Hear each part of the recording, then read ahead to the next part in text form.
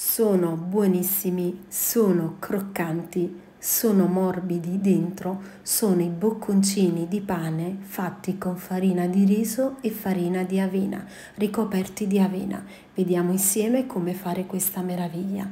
Per fare questi bocconcini, forno preriscaldato a 190 gradi per 25 minuti.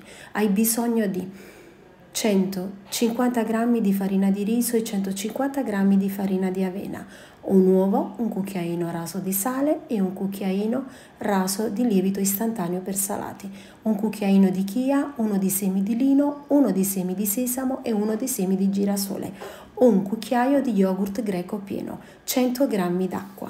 Impasta bene tutto, dai la forma, l'impasto deve essere un po' appiccicoso, così in modo che l'avena attacca all'esterno. Crea dei piccoli bocconcini infornali su carta forno e gusta questa meraviglia, accompagna i tuoi pasti e perché no anche delle creme dolci la mattina per fare un'ottima colazione.